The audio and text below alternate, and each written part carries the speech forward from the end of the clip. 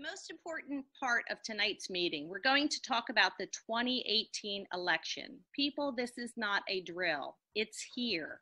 It's upon us. The clock is ticking. This is the moment that we've been waiting for. We have 98 days until the primary election. We have 271 days until the general election. We have to get to work. Everyone's got to really start moving now and getting involved in the election process.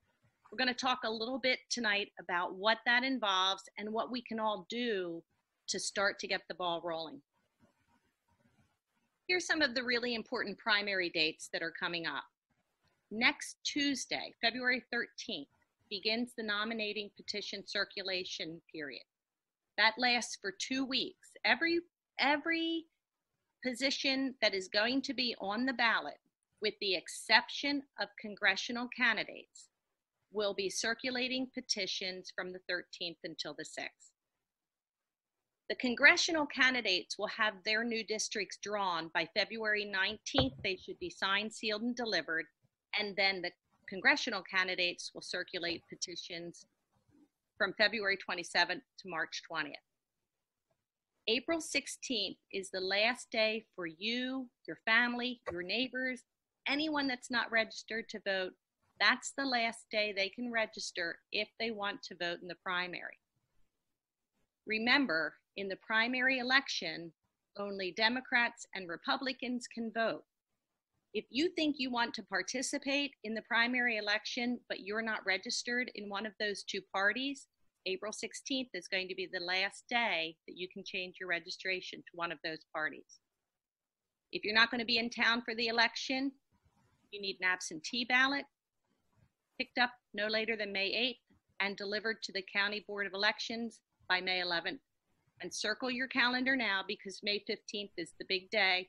That's the primary election. If you have any questions, I think it's always a good idea to know the website that you have to go to for information, and that's at the bottom of the screen. These are the offices that are going to be on the ballot this year.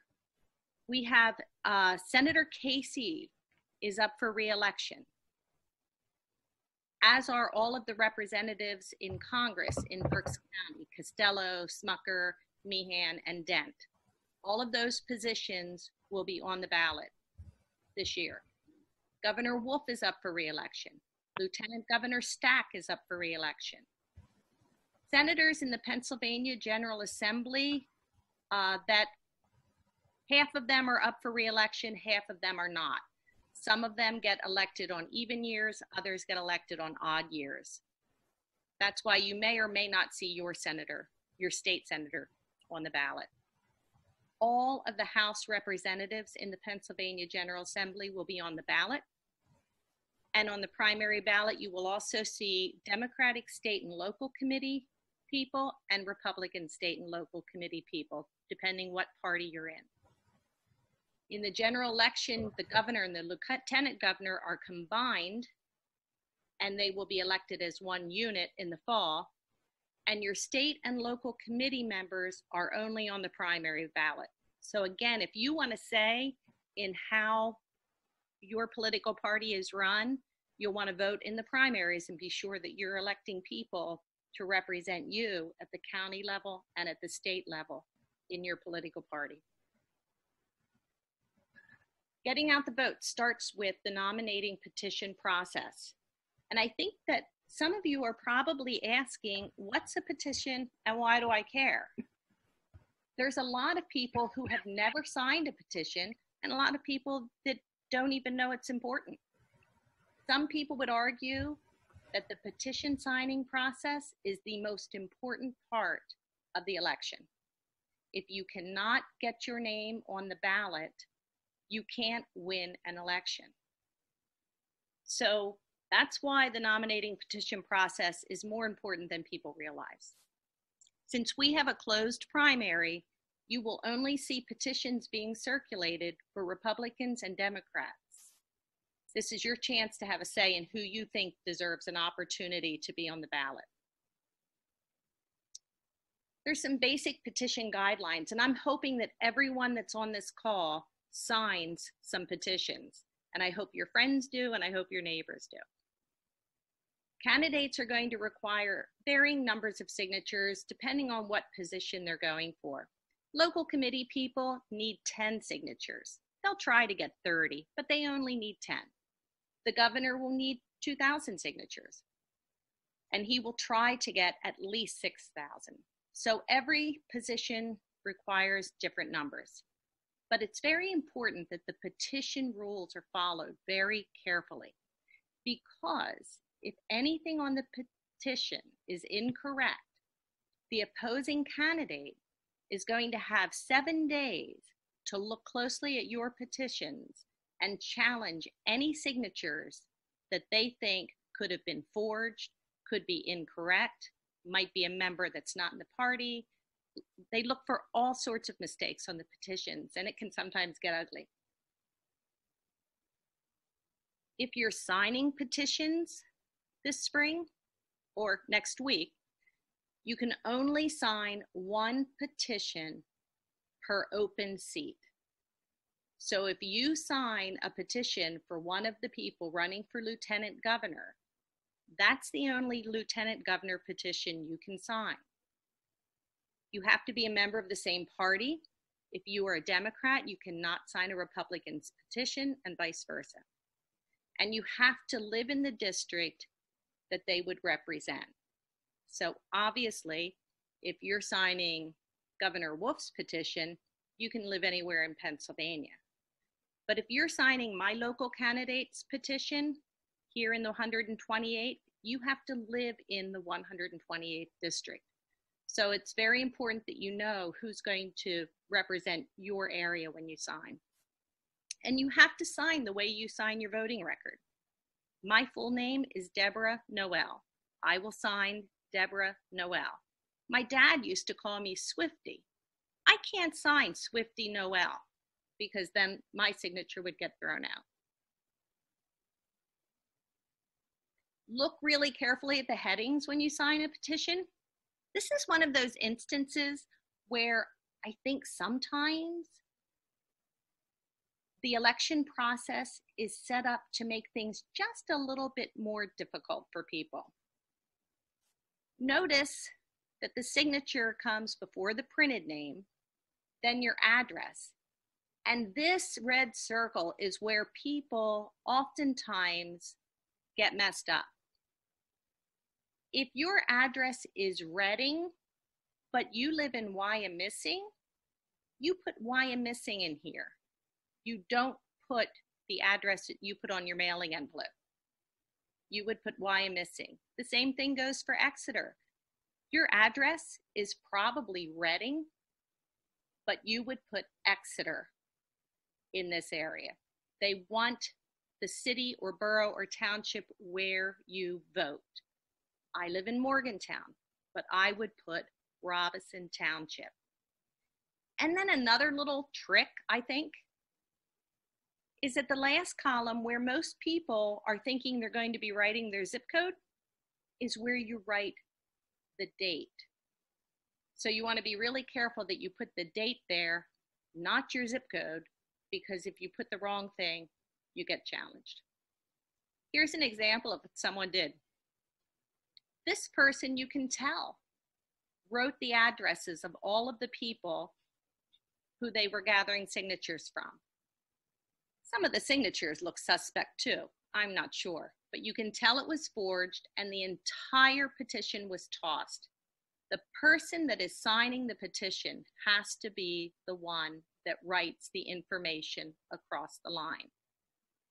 So candidates really need their circulators to be accurate and they need people to be honest. There are some petitions where you can sign more than one person. For instance, the Democratic State Committee and the Republican State Committee. Berks County has seven Democratic seats allotted for the state. You might sign Patty Rose's petition because she's running for the state committee. But hey, you heard Sherry Green might be running for the state committee too, and you want her to have the opportunity to be on the ballot. Well, you can sign hers too, because in that case, multiple people and multiple positions are open for the state committee. So that's the one exception to being able to sign multiple petitions. So, what can you do to help with the petition process? Like I said, many of you have probably never signed petitions before, or you never went to a petition signing party. You didn't realize how important it was. But this is really our first opportunity as members of Indivisible to get involved and get people excited and get moving on the election and do your part to start getting the energy vibrating throughout the county. So, what you can do is you can circulate a nominating petition. Maybe you have a candidate that you think deserves to be on the ballot. You can circulate their petition for them. They'll give you a list of people that you can go knock on their doors and ask them to sign.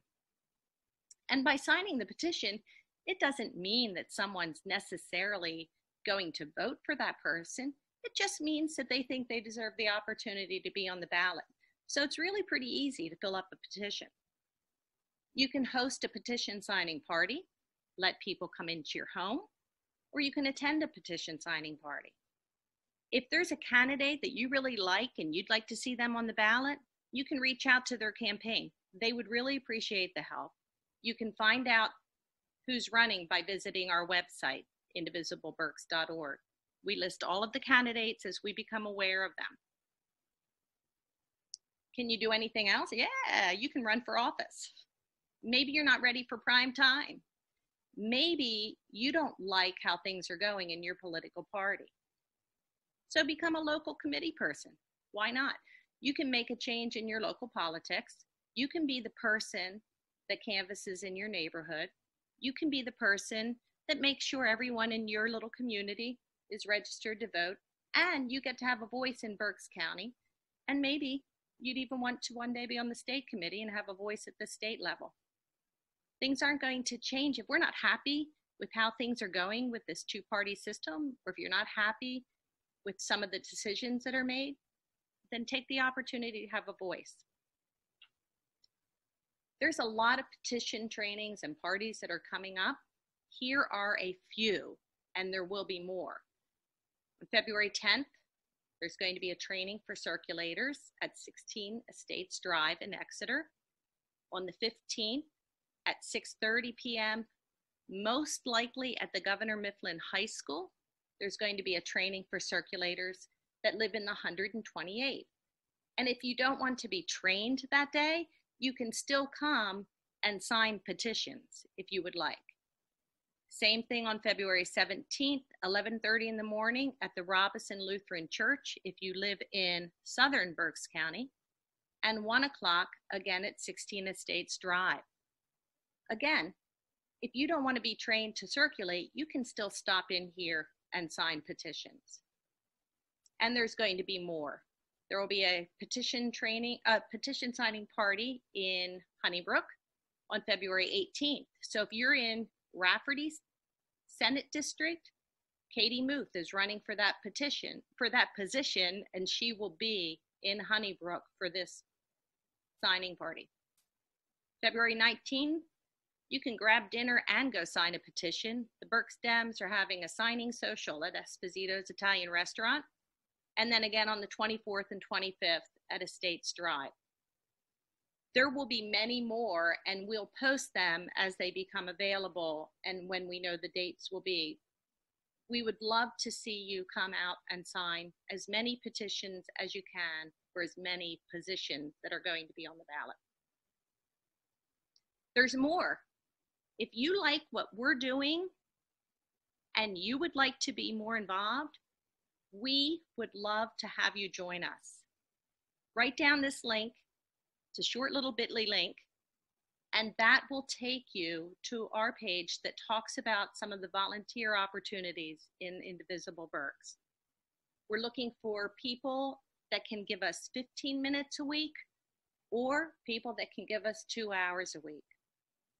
If you think you'd like to get more involved, check us out. We'd appreciate hearing from you.